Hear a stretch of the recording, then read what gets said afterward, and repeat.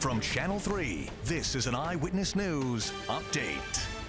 Hi, everyone. I'm Irene O'Connor with your top stories. The state is moving up the timeline to get your COVID vaccine.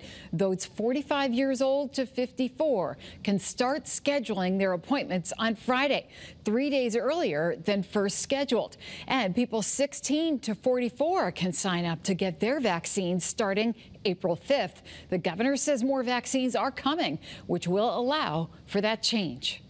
Six weeks ago, we had, you know, less than 50,000 doses, so we'll be up at 200,000 doses a week uh, very soon. By the time we get to the end of April, early May, uh, most everyone in Connecticut who's eager to get ac access and get vaccinated should have that opportunity.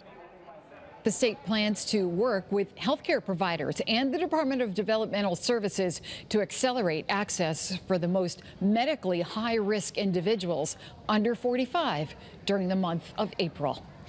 Uh, happening right now in South Windsor, people are headed to the polls to vote on five spending projects. Voters will decide if the town will spend millions of dollars on road repairs, building a women's locker room at the police department, and upgrading the town hall. The other big question, should the town build a new sports facility with a turf field at Nevers Park? The polls are open until 8 o'clock.